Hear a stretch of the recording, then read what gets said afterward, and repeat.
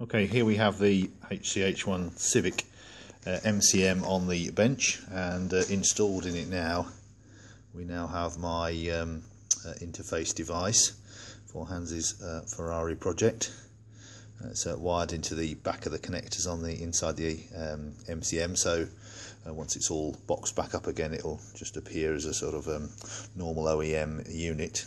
Um, so this one's running here. I've got this MCM wired up to my uh, 13 volt power supply using some um, old MCM um, HCH1 harness. And connected to the harness I've just got the pot just connected just between plus and minus uh, plus 5 volt supply. And um, I'm using the MOT A in line which I've cut at the back of the uh, connector here. So the MOT A in is the voltage in goes into the control voltage goes into the board and then the serial data comes out of the board and into the normal MOT-A line and into the MCM so that's where we are.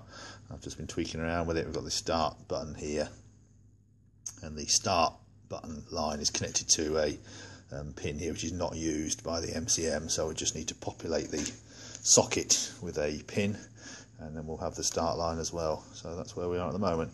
The board has a jumper on for programming and the five ICSP pins for programming in situ.